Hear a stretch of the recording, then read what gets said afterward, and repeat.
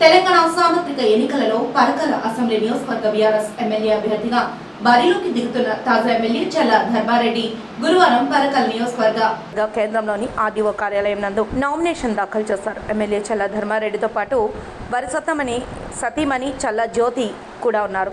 Nomination అనంతరం MLA చల్ల ధర్మారెడ్డి మాట్లాడుతూ బీఆర్ఎస్ పార్టీ అధినేత ముఖ్యమంత్రి తమపై నమ్మకం ఉంచి బీఆర్ఎస్ పార్టీ ఎమ్మెల్యే అభ్యర్థిగా అవకాశం ఇచ్చారన్నారు. పదేండ్లు పరకాల నియోజకవర్గ ప్రజలకు సేవ చేయడమే కాకుండా నియోజకవర్గాన్ని అన్ని రంగాల్లో అభివృద్ధి పదంలో నడిపించామని తెలిపారు. ఉదయం భద్రకాళి అమ్మవారి ఆలయం నియోజకవర్గంలో పలు దేవాలయాల్లో ప్రత్యేక పూజలు నిర్వహించారు.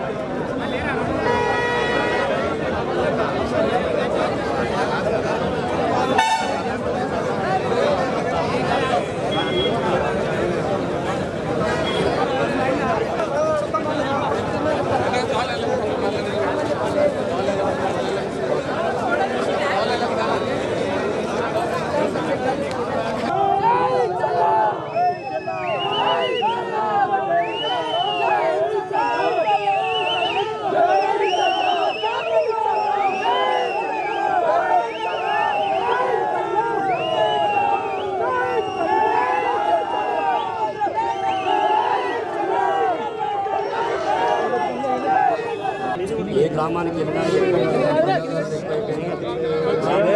పెద్ద ఎత్తున బ్రహ్మానందం పడుతూ భారత రాష్ట్ర సమితిని గెలిపించాలి గౌరవ ముఖ్యమంత్రి కేసీఆర్ గారిని ఉచితంగా మూడోసారి ముఖ్యమంత్రి చేసుకోవాలని చెప్పి ప్రజల కోరిక పెరిగింది.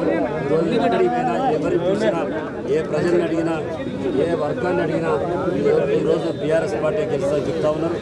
మేము కూడా ప్రచారం వెళ్ళినప్పుడు ఎక్కడ కూడా బ్రహ్మరథం బట్టి మరి ముందుకు తీసుకుపోతా ఉన్నారు.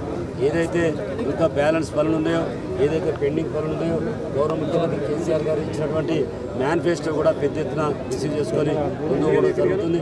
ఈరోజు ఎక్కడ చూసినా వేరే పార్టీకి ఆదరణ కానీ కనీసం ఇలాంటిది కూడా లేదు. మిగతా పార్టీలన్నీ కూడా ఇప్పటికే ఎంతో పోవాలని చెప్పి ఆలోచన రావడం జరిగింది.